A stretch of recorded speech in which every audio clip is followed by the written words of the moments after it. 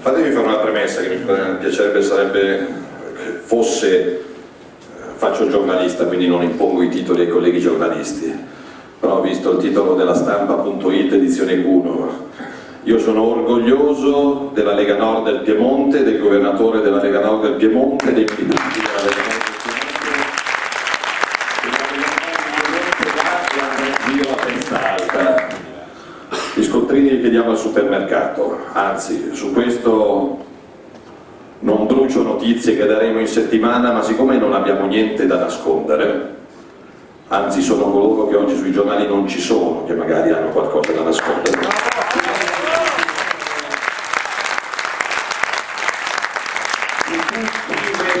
le carte e gli scontrini in tavola e poi ci sarà da divertirsi, vedremo se la stampa e la Repubblica sugli scontrini democratici avranno uguale solerzia ed attenzione, perché siamo qua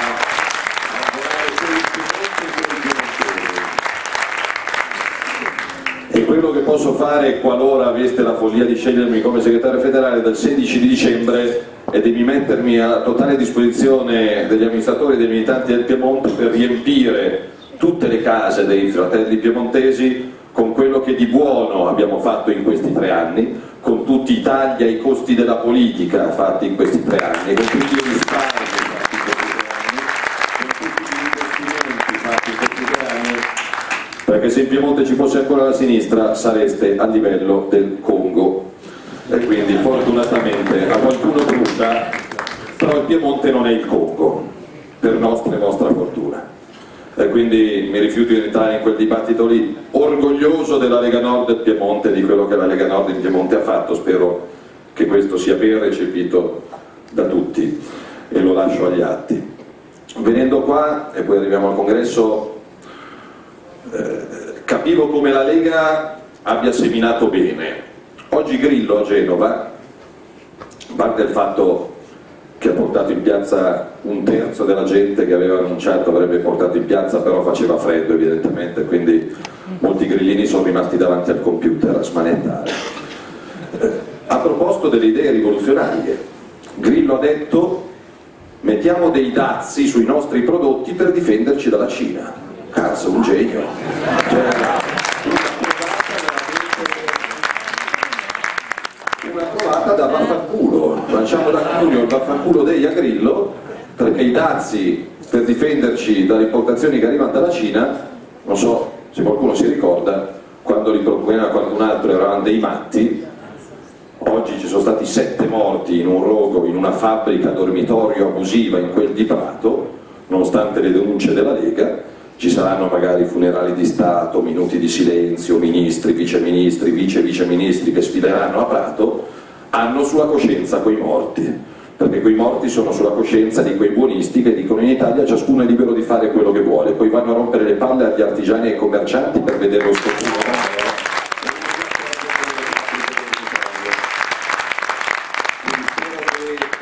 e compagnia non vadano a Prato a fare sfilata perché quei morti, italiani o cinesi che fossero, sono sulla coscienza di quelli che fanno finta di non vedere perché non puoi non vedere una fabbrica dove dormono dentro decine di persone.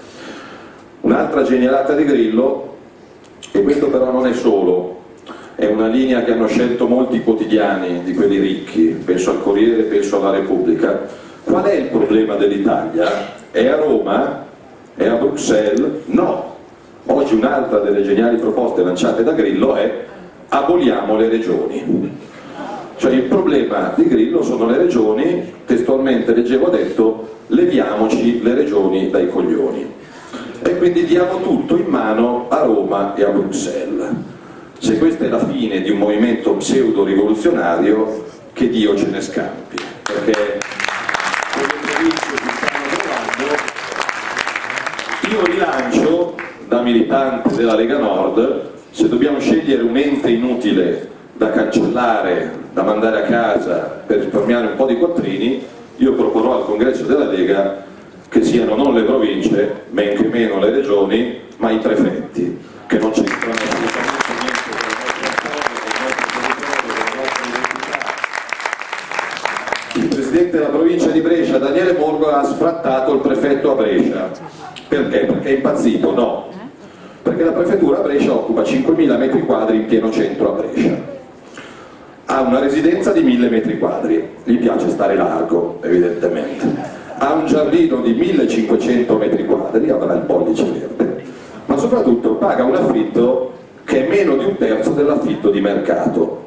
Allora mi chiama il presidente della provincia e mi fa Matteo, qua noi non abbiamo più i soldi manco per piangere, io devo mettere in sicurezza due frane lungo due strade statali, non posso spendere i soldi che ho per il patto di stabilità, però qua la prefettura e nei nostri locali ci danno 200.000 euro d'affitto quando il valore minimo di mercato è il triplo, 600.000 euro.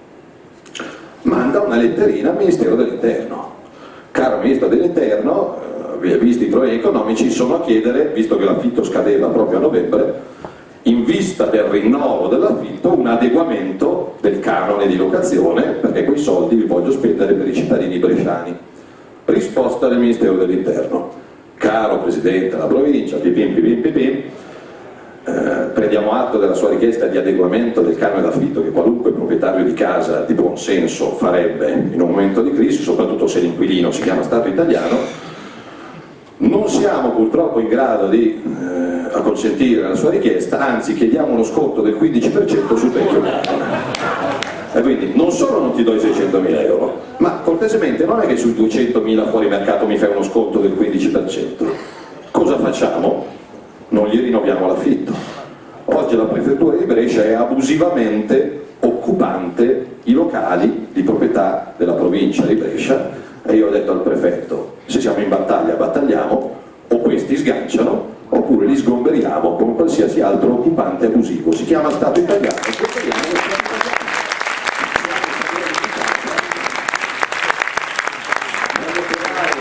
un cittadino della provincia di Brescia che mi dia torto, anche di destra o di sinistra, quei soldi mi servono per la sicurezza stradale della mia gente, Roma non me li dà, vai via. Vai, invece di mille metri quadri di residenza ti pigli un bilocale in periferia e fino a che esisti come prefetto stai lì, poi quando ti cancelleremo per referendum torni, anche perché di prefetti cunesi o bresciani non vedo la folla onestamente sui 103 titolari di prefettura in Italia, ma questo è un altro paio di maniche. Per dire che Gianna Gancia diceva la Lega, non penso ci sia la vecchia Lega, la nuova Lega, la Lega. Negli ultimi anni abbiamo fatto di necessità virtù e abbiamo anche necessariamente giustamente per un certo verso smussato alcuni toni, abbiamo provato a essere più costruttivi, più istituzionali, abbiamo provato a cambiare le cose andando a Roma con eh, le riforme, col federalismo fiscale, con la devolution, col referendum. E da Roma non cambia nulla, era giusto provarci. Se non ci è riuscito un genio assoluto come Umberto Bossi, perché uno come Umberto Bossi non nasce per i prossimi cento anni, se non c'è riuscito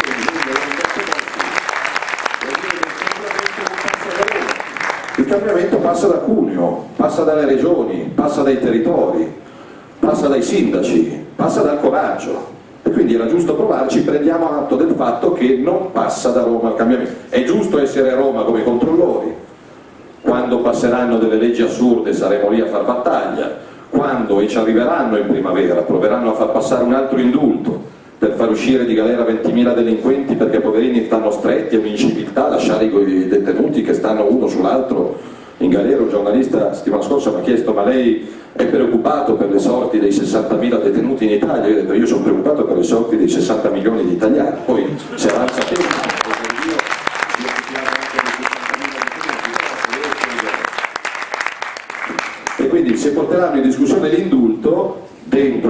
dentro i palazzi faremo la guerra, però tenetevi pronti, non dovremo mettere manifesti, mandare mail, fax, il giorno in cui a Roma discuteranno l'indulto per approvarlo, messaggino, si sale sul treno, magari la prendiamo lunga dalla Cuneo 20 miglia e poi scendiamo, però a Roma i nostri battaglieranno dentro e noi tutti insieme, in pullman, in treno, in auto, fuori, non facciamo uscire quei signori dalla Camera e dal Senato fino a che non si rimangiano quella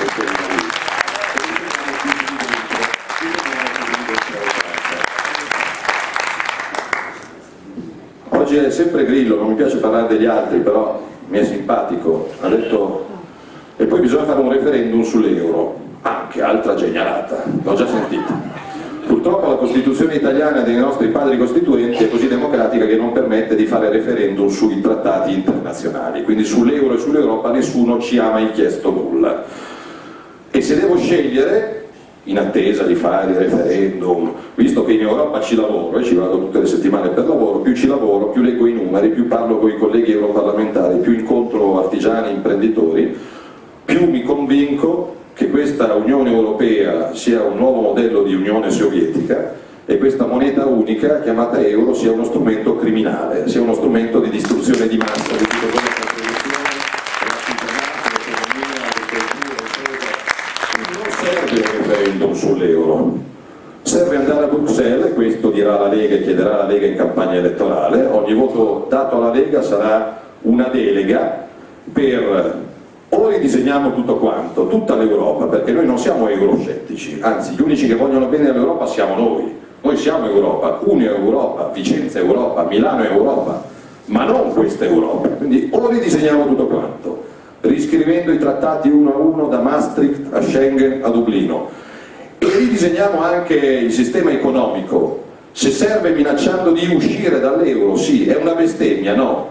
Se io so che vado a schiantarmi contro un palo, provo a sterzare, mi dicono uscire dall'euro non si può, perché pensa quanto, a quanto salirebbe la disoccupazione, Dico, siamo 5 milioni di disoccupati, pensa quanto costerebbe la benzina, abbiamo la benzina più cara d'Europa, 1,70 euro, pensa quanto diminuirebbe il valore reale dei nostri stipendi, meno 50%, pensa che fine farebbero i nostri risparmi, 10 anni di euro e risparmi degli italiani meno 80%.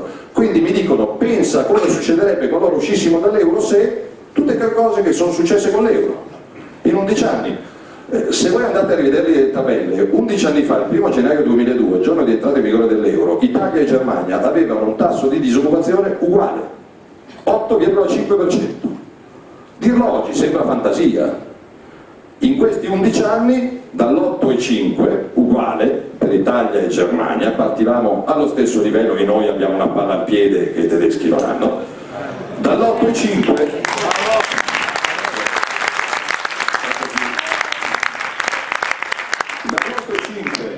la Germania è scesa oggi, novembre 2013, al 5,4% e noi siamo arrivati al 12,2%.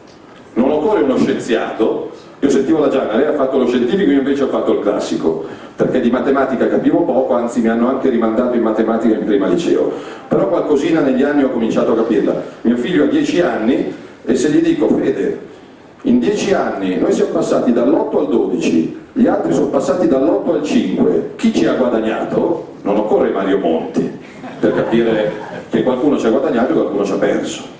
E o abbiamo disimparato noi a Cuneo a lavorare, oppure ci sono dei vincoli che avvantaggiano qualcuno e danneggiano qualcun altro.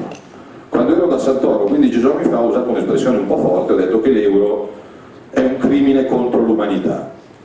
Io lo ribadisco, perché quando hai il record dei suicidi di imprenditori, quando hai un'agricoltura in ginocchio, quando hai una floricoltura in ginocchio, quando ti hanno costretto a fare un massacro sulle pensioni che non è uguale in Europa. Dovevamo fare la riforma delle pensioni perché eravamo quelli che andavano in pensione più giovani, adesso a Bruxelles si sono accorti che c'è un problema perché siamo quelli che vanno in pensione più anziani. Eh, ci pensavi prima.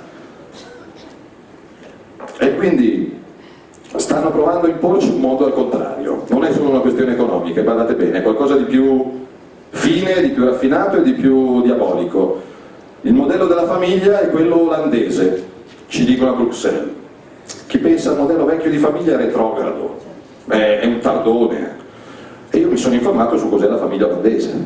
La famiglia olandese prevede matrimoni di tutti, fra tutti, due donne, due uomini, prevede adozioni per tutti, single, due donne, due uomini, prevede anche la fecondazione artificiale per tutti, donne, uomini. Eh, però, e mi dicono che questo è il progresso. Ora, io non sono un bigotto, vado a messa due volte all'anno purtroppo, sono divorziato perché i casi della vita ti portano a non poter sempre scegliere che cosa fare, però io penso che la Lega su questo debba avere una sola parola, ben chiara, nel rispetto delle scelte private e di vita di ciascuno, però il matrimonio è quello fra l'uomo e la donna e i bimbi vanno dati in adozione a un uomo e a una donna.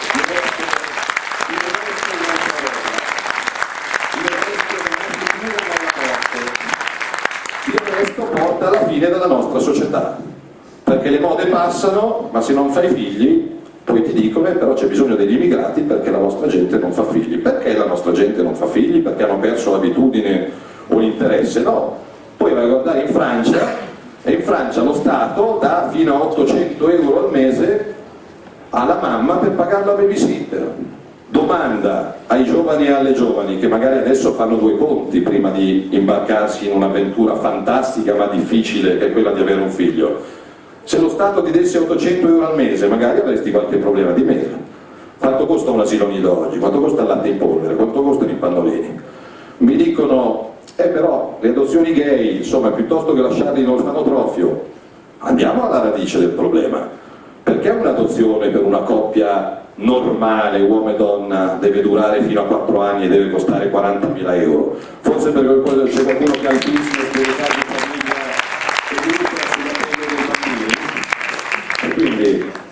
poche parole ma chiare, pochi concetti chiari, diranno che siamo retrogradi, ma intanto ce lo dicono lo stesso, quindi siamo brutti, cattivi, razzisti, populisti, xenofobi. Abbiamo invitato al congresso federale alcuni soggetti pericolosi da tutta Europa, Marine Le Pen, la austriaca, gli olandesi, gli svedesi, i finlandesi, chi parla male di Bruxelles è populista, euroscettico, xenofobo, razzista, troglodita, eccetera, eccetera. Io l'ho detto, siamo Europa, siamo nel cuore dell'Europa, ma non nell'Europa delle banche. Qualcuno vi ha chiesto il permesso di dare 52 miliardi di euro al cosiddetto fondo salva stati? No, scelgono bene anche i nomi, eh. fondo salva stati uno ha l'impressione, mi sto dissanguando, però aiuto i bambini poveri in Grecia un par di balle. Fondo Salva Stati è un prestito che non ci verrà mai restituito, che va alle banche, sono soldi andati alle banche spagnole, alle banche francesi, che erano debitrici delle banche tedesche, quindi sono soldi usciti da Cuneo, che sono arrivati a Berlino, le banche tedesche hanno preso quei soldi, li hanno rigirati a tasso zero alle imprese di Berlino, che poi vengono a Cuneo a vendere i loro prodotti. Cioè un sistema geniale, i poveri tirano fuori dei soldi da dare ai ricchi che poi li girano quando sento i nostri ministri che dicono che bisogna investire in innovazione ma se le imprese non riescono a pagare i loro fornitori e i loro dipendenti dove trovano i soldi per fare ricerca e innovazione? e i soldi ai tedeschi li noi e poi vendono le BMW e i frigoriferi e le lavastoviglie, eh, grazie abbiamo sponsorizzato tutto noi eh, e quindi non è un errore, eh? è scientifico. L'importante è essersene accorti. È una truffa, è un euro truffa costruita molto bene con la complicità di giornalisti, di professori, di economisti. Per curiosità, quando tornate a casa, andate su internet e recuperate i titoli dei giornali, di tutti i giornali, del primo gennaio 2002. Entrata in vigore dell'euro, andate a riguardarvi un telegiornale negli archivi RAI del primo gennaio 2002 Oggi sembra fantascienza, bellissimo, il futuro, saremo più belli, più ricchi, più uniti. Prodi diceva lavoreremo un giorno di meno, ma guadagneremo come se lavorassimo un giorno di più. Aveva beccato la prima parte, lavoreremo un giorno di meno, anzi anche una settimana di meno, però il guadagno, il guadagno non è ancora arrivato. La moneta unica, il pensiero unico, stanno togliendo tutti i dazi, lo dico a quel poveretto di Grillo, noi siamo lì a combattere da soli, hanno tolto i dazi sulla frutta e la verdura che arriva dal Marocco, hanno tolto i dazi sul riso che arriva dalla Birmania, sulle scarpe che arrivano dal Pakistan, sul tessile dall'India, perché ci dicono è il mercato, il mercato deve essere libero per il profitto, ma noi non siamo al mondo per il mercato e per il profitto, odiamo una regolata al mercato al profitto, oppure nel nome del mercato e del profitto ti crepano sette persone in una fabbrica dormitorio a Prato, perché poi vendono i maglioni a 5 euro. E come fanno a vendere i maglioni a 5 euro? A. lavorano in nero, B. non pagano una lira di tasse. E nessun artigiano, nessun imprenditore di Cuneo può competere con questa gente. Quindi il mercato del profitto va bene ma vanno regolati, vanno regolamentati. E se a Bruxelles a fare questa battaglia con me ci sono i francesi della Le Pen, ci sono gli austriaci, ci sono gli olandesi e gli altri se ne fregano, allora viva Marine Le Pen e benvenuta.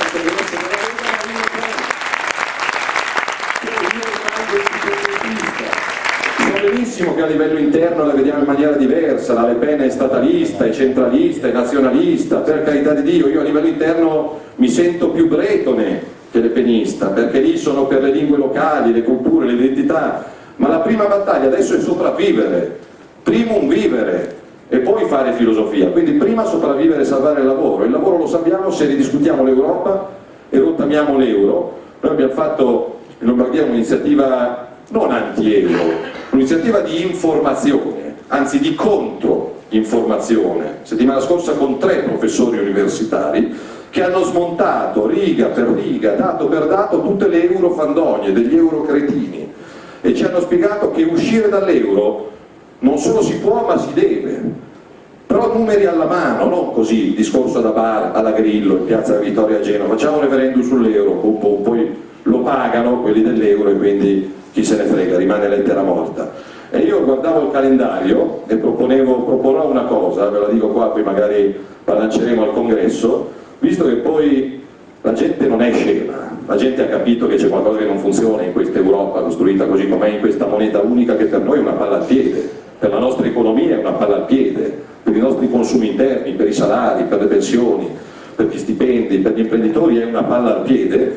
E quindi io ho visto che il 14 febbraio la festa degli innamorati nel 2014 cade di venerdì, perché non fare una festa degli innamorati delle nostre terre, delle nostre economie, dei nostri cibi, della nostra sovranità anche monetaria e del nostro futuro il giorno dopo, sabato 15 febbraio, in tutte le città della Padania, gazebo della Lega che spiegano che non è troppo tardi per salvarci e per costruire un'altra Europa, con un'altra moneta e con un altro futuro, perché noi siamo innamorati della nostra terra, non ci arrendiamo a essere semplicemente dei numeri, dei consumatori. Qualcuno ha preso la nostra terra come un supermercato. Il progetto prevede un supermercato dove noi siamo al massimo liberi di scegliere che cosa consumare di qualcosa che viene prodotto dall'altra parte del mondo. Io non sono un consumatore, non sono un numero, sono un essere umano. Il problema di questa gente è che però gli esseri umani pensano. Mi sono riletto quest'estate George Orwell.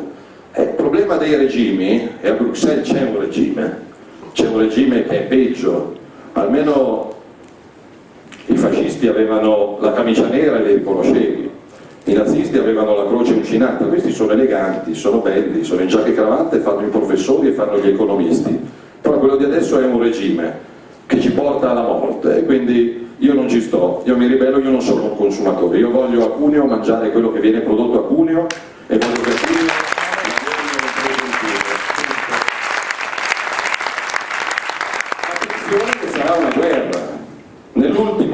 ultimi due mesi in Lombardia ci hanno arrestato due sindaci nella stessa provincia, Montichiari e Adro. Li avrete visti in televisione a proposito di stampa. Sindaca di Montichiari arrestata per tangenti, ciubbia. Io da segretario della Lega Lombarda chiamo, cosa è successo? Mi spiegano l'accusa alla sindaca di Montichiari è di aver chiesto a un imprenditore che gestisce una discarica dei soldi, non per sé, ma delle opere ambientali per il suo territorio. Dico, ma scusa però, se me la dici così, un sindaco da uno che gestisce una discarica, gli chiede dei soldi per un parco, gli do la medaglia, non è che l'arresto. No, lo Stato italiano l'ha arrestata, titoloni sui giornali, sindaca leghista arrestata per tangenti, dieci giorni dopo è stata rilasciata e le accuse sono cadute. Ovviamente non c'erano i titoloni sui giornali, c'erano tre righe sotto il necrologio. Però 15 giorni dopo arrestano sindaco di Adro, lo ricordate? Quello dei soldi delle Alpi nella scuola, quello che addirittura aveva mandato una lettera polemica, una lettera polemica nei confronti del presidente napolitano dicendogli lei non è il mio presidente, gliela firmo anch'io, Napolitano non è il mio presidente, arrestato per turbativa d'asta. Ripiglio il telefono e chiamo ancora in provincia a Brescia. Cosa è successo stavolta? Turbativa d'asta, cosa ha fatto? Ha fatto senza indire regolare gara d'appalto in base ai canoni italiani ed europei, ha fatto lavorare due imprese del posto per costruire sul posto un palazzetto dello sport a costo zero per i contribuenti non facendogli pagare gli oneri alle imprese. Dico scusa, ripetimi, ha fatto lavorare delle imprese del posto per costruire a costo zero un palazzetto dello sport per le associazioni di volontariato del posto, sì. In Svizzera uno così lo premiano, in Italia lo arrestano. TG1, TG5 perché questo non era un sindaco qualunque, era il sindaco leghista, diadro, brutto, cattivo, becero, quello che aveva tolto il cibo ai bambini, che non pagavano le mense perché aveva, povero disgraziato, da buon amministratore mandato una lettera a quelli che lui sapeva essere furbetti, arrivavano quei bimbi in BMW a scuola e poi non pagavano la mensa perché erano poveri e guarda caso poi la metà di quella gente la mensa ha cominciato a pagarla perché un conto è essere scemi e un conto è fare i sindaci, però faceva notizia il sindaco leghista cattivo diavolo finalmente arrestato. Dopo dieci giorni di arresti domiciliari di sciopero della fame, il tribunale del riesame ha revocato gli arresti perché non servivano gli arresti. Però intanto questo per dieci giorni è stato ampiamente sputanato, mi è venuto il dubbio che sia stato arrestato perché non seguendo la normale procedura quel palazzetto dello sport non è stato costruito dalla solita impresa che arriva da, da Reggio Calabria o da Catanzaro.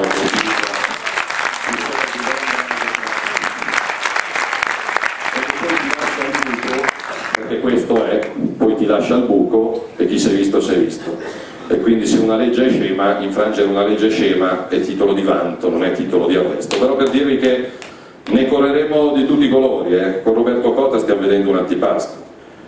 Se, facciamo, se decidiamo di provare a fare la guerra sui due fronti, indipendenza, noi siamo indipendentisti, lo dico Gianna Gancia per quanto mi riguarda come, non come segretario federale, ma come militante della Lega Nord, il simbolo della Lega Nord è quello e non si tocca e il nome della Lega Nord è quello e non si tocca, siamo indipendentisti, saremo indipendentisti.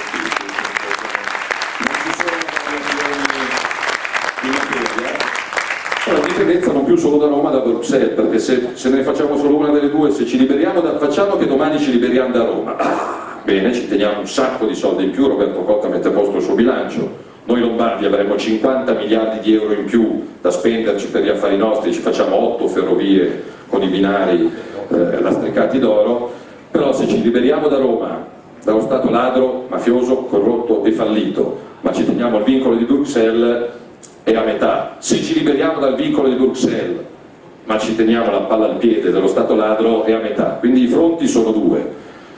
E ce la faranno pagare, eh? Da qui a maggio ce la faranno pagare, ne usciranno di tutti i colori. Io ogni volta che telefono alla fine della telefonata saluto il maresciallo che sicuramente ci sta ascoltando, sperando che non ascolti cose troppo interessanti. Però quello che succede in Piemonte è un'anticipazione di quello che succederà, ricicciano la roba di Bossi, di Belsito e poi ogni sei mesi, però la gente, la gente la freghi una volta, noi a febbraio abbiamo perso tanti voti. Noi alle elezioni politiche di febbraio abbiamo perso tanti voti, io quest'estate ne ho incontrati tanti in vacanza, in provincia di Brescia e non alle Maldive in vacanza di, di questo. Guardi Salvini, io devo dire, ho votato Lega tanti anni, poi però vi siete messi a litigare, avete fatto casino, l'amministratore, i diamanti, Renzo Bossi, l'ultima volta non vi ho votato, o non ho votato o ho votato Grillo, perché insomma ce l'ha col mondo, a fa culo, politici ladri, però quest'estate ne ho beccati tanti che mi hanno detto, guardi però dopo 5-6 mesi devo dire che io di vaffanculo non mangio, mentre alcune cose che state facendo voi, battaglie concrete, io suggerivo a Roberto, poi per far tutto con i soldi, però non giochiamo più in difesa, non stiamo lì a combattere su, sullo scontrino, la cena in pizzeria.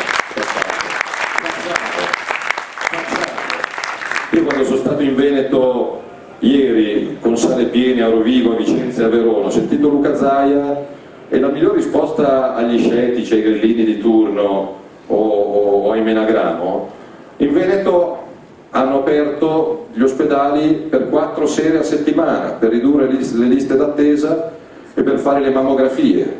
Servono soldi, sì. Qua avete ereditato una situazione economica disastrosa. Però io come rispondo a questa gente? In Lombardia due spunti, abbiamo trovato 2 milioni di euro per un contributo fino a 400 euro al mese alle mamme e ai papà separati o divorziati con un bimbo a carico, che dopo la separazione dal divorzio non ce la fanno. sindacato 900 mamme e papà che col vaffanculo non mangiano, con 400 euro al mese per carità non diventano ricchi, ma magari fanno la differenza fra comprare il grembiule nuovo a tuo figlio, che magari non potresti fare, o cambiargli le scarpe, cosa che magari non potresti fare. Abbiamo provato a mettere una toppa al disastro di Roma sugli esodati. A Cuneo siete gente per bene, molto tranquilli, molto pacati, moderati. Vi chiedo solo, eh, da segretario in pecore, qualora la signora Elsa Fornero passeggiasse per Cuneo, prendete la calcia in culo.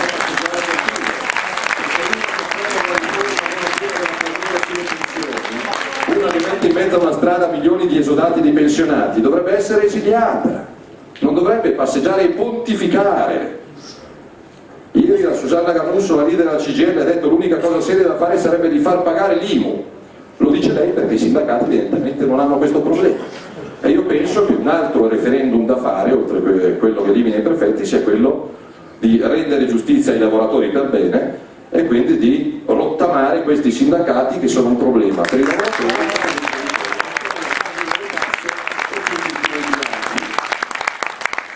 Quindi come Lega poi non vi voglio annoiare più di tanto, però le battaglie da fare ci sono.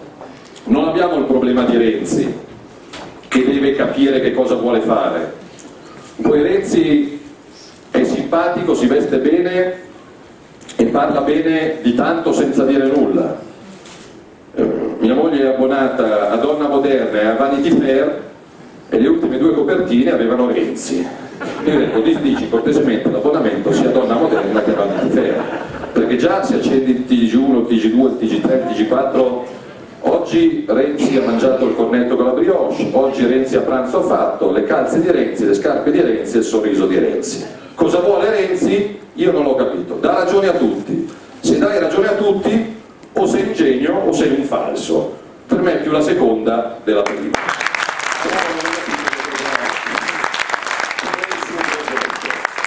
La Lega il progetto ce l'ha. Per vent'anni abbiamo provato a portarla a casa combattendo da dentro, giustamente, il cambiamento probabilmente non passa da dentro ma dai territori, perché sono così incarogniti sulle regioni? Perché uno come Grillo può arrivare a dire una bestiata, però sostenuto dai grandi media, dal Corriere della Sera, dalla Repubblica. Il problema qual è? Roma è Bruxelles, è lo Stato ladro, è l'Unione Sovietica Europea? No. Il problema sono le regioni, le province e i comuni. Guardate, gli enti più martoriati, più massacrati sono il problema. E quindi tiriamoci Roma e Bruxelles e cancelliamo tutto quello che c'è in mezzo.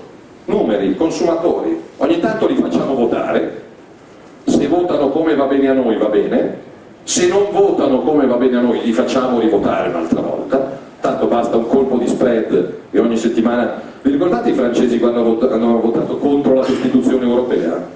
avevano votato contro, era previsto e li ha fatti rivotare probabilmente starebbero votando ancora oggi se avessero continuato a votare contro ti prendono per sfinimento reagiamo al pensiero unico alla moneta unica, al cibo unico diverso è bello, l'identità è bella, la lingua è bella, è possibile che un sindaco di sinistra, così accade in Lombardia, non so in Piemonte, uno dei primi atti che fanno i sindaci di sinistra quando vengono eletti dopo un sindaco della Lega è togliere il cartello della città in dialetto.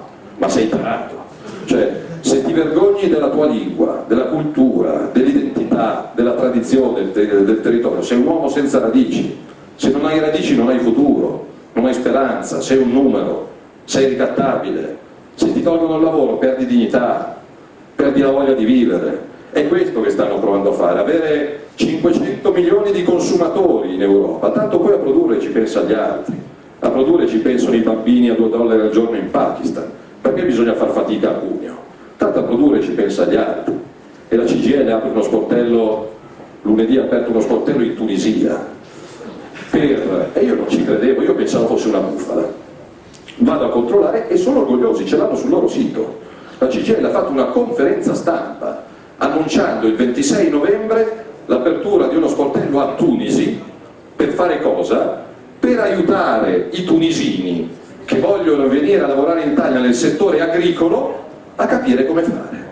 Ma Dio c'è la disoccupazione, chiudono le stalle, i nostri agricoltori non sanno dove sbattere la testa e un sindacato italiano, pagato dai lavoratori italiani, dai contribuenti italiani, va in Tunisia a spiegare ai tunisini come venire a fottere il posto di lavoro a noi italiani? Sindacato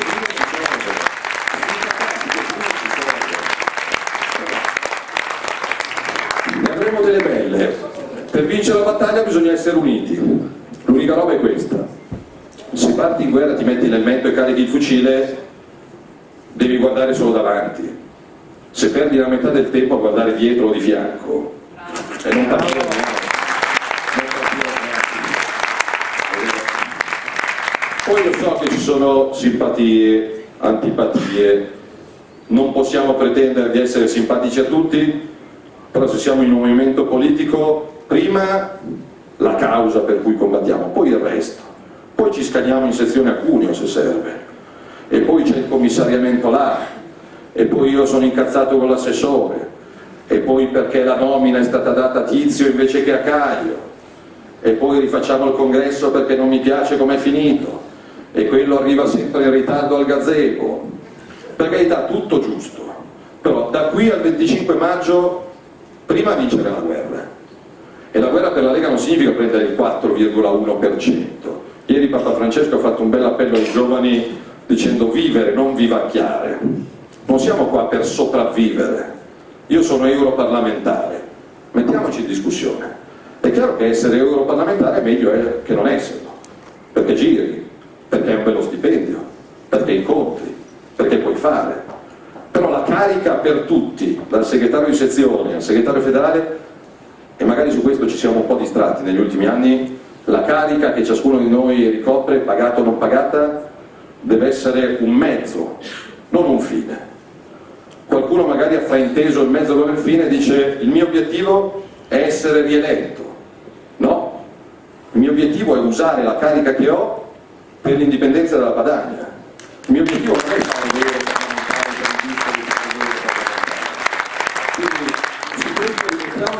quanti in discussione. Vi chiederò fatica, gran fatica, fare i gazebo a gennaio e fa freddo. Essere nati militanti della Lega è una spiga. Fossimo nati militanti del PD saremmo più comodi. Ci mettiamo davanti alla televisione, tanto c'è Renzi dalla mattina alla sera. Se mi mancano i soldi o ho le Co o ho il Monte dei Paschi di Siena, quindi non ho grossi problemi a trovare i finanziamenti. Militanti del PDL, magari ci saremmo divertiti un po' di più, perché, è anche un bel vedere, diciamoci. E poi in ogni caso se c'è qualcosa da comunicare lo fai a reti unificate, quindi Canale 5, Italia 1, Rete 4, non hai, non hai grandi problemi. Siamo nati militanti della Lega, che è la cosa più bella che ci potesse capitare, però è impegnativa. Ecco, se ci siamo un po' riposati nelle ultime settimane, negli ultimi mesi, dal 16 dicembre in poi sarete chiamati a dare tutto, a dimagrire 2 o 3 kg, a prendere un sacco di freddo, a prendere qualche insulto se serve. Oggi è giusto essere qua dentro, per darci un obiettivo, per darci appuntamento al 7 dicembre, fuori dalla segreteria provinciale di Cuneo tanta gente con le tessere vere, non false, non tarocche come qualcun altro, però far vedere che la gente di Cuneo c'è, fino all'ultimo dei militanti, così poi voglio vedere i giornalisti come fanno a nascondere il fatto che ci sono migliaia di persone che partecipano, però poi basta essere al chiuso.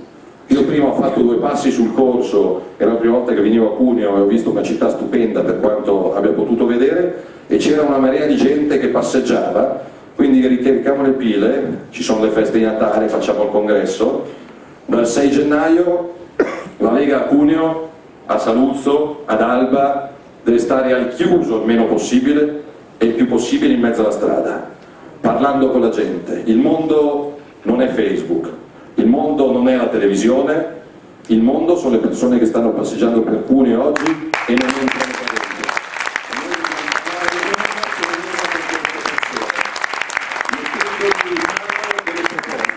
mettendogli in mano i numeri dell'Eurotruffa, mettendogli in mano quello che abbiamo fatto in Regione Piemonte per il lavoro, per la sanità, rispondiamo coi fatti, rilanciando, non giochiamo in difesa, non abbiamo niente da difendere, perché gli altri hanno rubato di più, io non, non sono uno di quelli che gode per dire ma gli altri sono peggio, no, noi dobbiamo essere irreprensibili e su questo non ho problema alcuno a crederlo, però parliamo di fatti, la gente ci paga per fare, non per polemizzare. E quindi io sono contento e spero che sia un congresso non eh, come i giornali scrivono Salvini contro Bossi, Salvini con Bossi, un congresso insieme.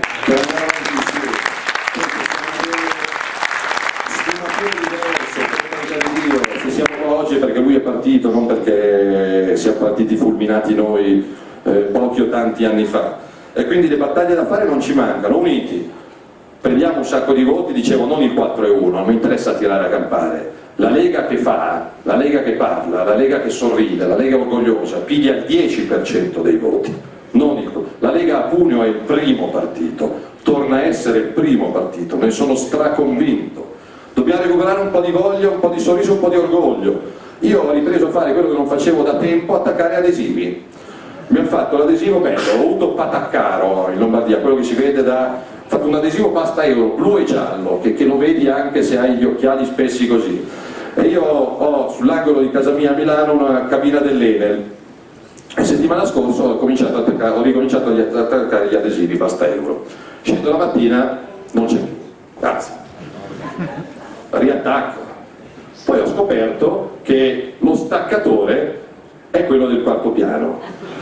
Un medico candidato per la sinistra alle regionali contro Maroni, di quelli con la R così, che ha beccato sull'ascensore e mi fa Salvini, tu mi stai simpatico, ma ci credi a quello che dici? Dico, tendenzialmente sì, potrei essere d'accordo o non d'accordo, però quello che dico lo faccio non per necessità, ma per convinzione. Ma sei un matto. L'euro è la nostra salvezza. Fortunatamente ero arrivato a piano terra, se no gli partivano due, due schiaffoni democratici e sinceri, poi fa il medico si sarebbe curato da solo. Questo per dire, il risultato è che gli adesivi ne ho attaccati 10, sono tutti lì, vediamo se si stanca prima lui di staccarli o prima io di attaccarli, secondo me si stanca prima lui. Però questo per dire che la gente ha bisogno di vederci, perché per troppo tempo siamo stati quelli che sui giornali ci finivano perché litigavano, perché Tizio ce l'ha con Caio, perché Bossi ce l'ha con Maroni, perché l'indagine, perché l'inchiesta, perché la lettera anonima al quotidiano locale. Non abbiamo niente da nascondere, siamo vincenti, facciamoci vedere, purtroppo gli italiani, i padani, i lombardi, i piemontesi hanno tanti pregi ma hanno il difetto che sono prontissimi a correre in soccorso del più forte, del vincitore. E quindi se ti fai vedere remissivo all'angolo, un po' sfigatello, un po' balbuziente, un po' timoroso, guarda da qualche altra parte. Invece, però ci devono vedere, con i volantini, con gli adesivi, con i manifesti, con i gazebo. Io lavoro anche su Facebook, mi piace, però il mondo reale non è sul computer, su Facebook raggiungi il 10% della gente, il mondo reale sta passeggiando lì in mezzo, il mondo reale deve leggere un pezzo di carta, deve essere abbracciato, deve essere ascoltato, deve essere incontrato fuori dalle sezioni. Quindi mi scuso se vi ho annoiato, ma vi posso garantire fatica, fatica e fatica, ma alla fine soddisfazioni, perché gli altri avranno quello che avranno.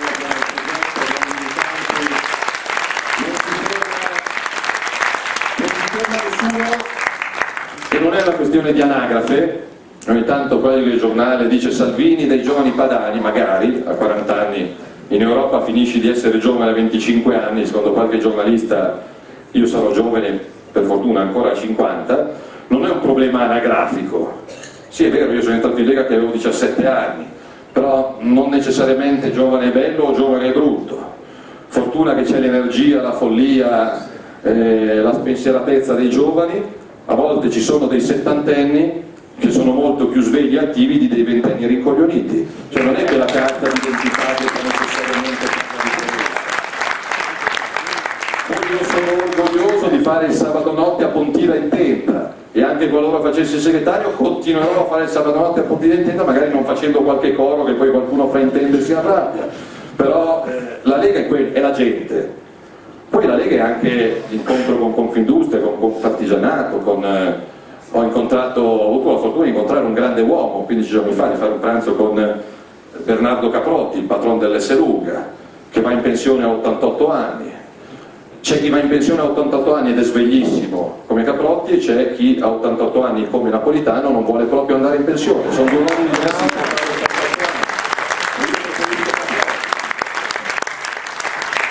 perché uno che pubblica un libro Falce e Carrello dove ti spiega e ti documenta come i compagni sinceri democratici dell'Emilia, della Toscana e della Liguria o hai la tessera oppure non lavori, è uno che ha due palle così e noi abbiamo bisogno di gente che, che ha due palle così. Quindi mi chiudo, mi taccio, conto di tornare in provincia di Cuneo presto, prestissimo, non in una sala, sotto un gazebo, là in piazza, magari con un po' di mimbrolè, una marea di volantini e andiamo incontro alla gente. È un momento in cui la gente, la politica, le stanno raccontando che la politica è una roba sporca, è una roba brutta. È il disegno di prima di Bruxelles. Non servono i politici, non servono le regioni. Mettiamoli il tecnico, mettiamoli quello che capisce di spread, mettiamo il banchiere. Poi abbiamo visto il professore, la credibilità internazionale, quello che capisce di spread. Adesso la Grecia, leggevo ieri, la Grecia ha i conti a posto, Moody's, perché ormai il voto vale molto meno delle agenzie di rating, Moody's ha leggermente rialzato il tasso di credibilità della Grecia che dalla serie Z arriva alla serie W. Piccolo problema per i greci, questo leggero recupero del tasso di credibilità delle agenzie di rating li ha portati ad avere una disoccupazione del 27% e una disoccupazione giovanile del 61%. 6 persone su 10 che sotto i 30 anni in Grecia non hanno un lavoro, però andate a dirlo ad Atene, andate a dire a questi 6 ragazzi disoccupati, guarda sei disoccupato e stai crepando di fame, però hai un bel rating, questa secondo me non la prende benissimo, questa occhio Gli strumenti sono questi, secondo me glieli smontiamo uno per uno pezzo per pezzo, fandonia per fandonia, se siamo tanti, se siamo uniti, se siamo compatti, se siamo disposti a rischiare. Io ci sono solo se ci siete voi, se votano, voteranno 17.000 militanti, un segretario federale da solo non fa niente, di bossi non ne nascono più, quindi un segretario federale che va alla guerra da solo, mentre i 17.000 soldati dietro sono un po' distratti non o non c'han voglia, è morto. Io non lo faccio. Chi me lo fa fare? La più incazzata di tutti è mia moglie, ha detto ma c'era proprio bisogno. Eh, sono abituato a dire sì, quando la Lega chiama, torto a ragione da tanti anni, mi metto in gioco, metto in gioco la mia seppur scarsa esperienza, credibilità, però io posso andare in televisione, posso andare da Vespa, posso andare a Santoro, posso fare 15 incontri pubblici al giorno fra Bruxelles, Milano, Cuneo, Vicenza e Rovigo, posso incontrare mille persone, ma un segretario federale da solo o un segretario nazionale da solo non va da nessuna parte.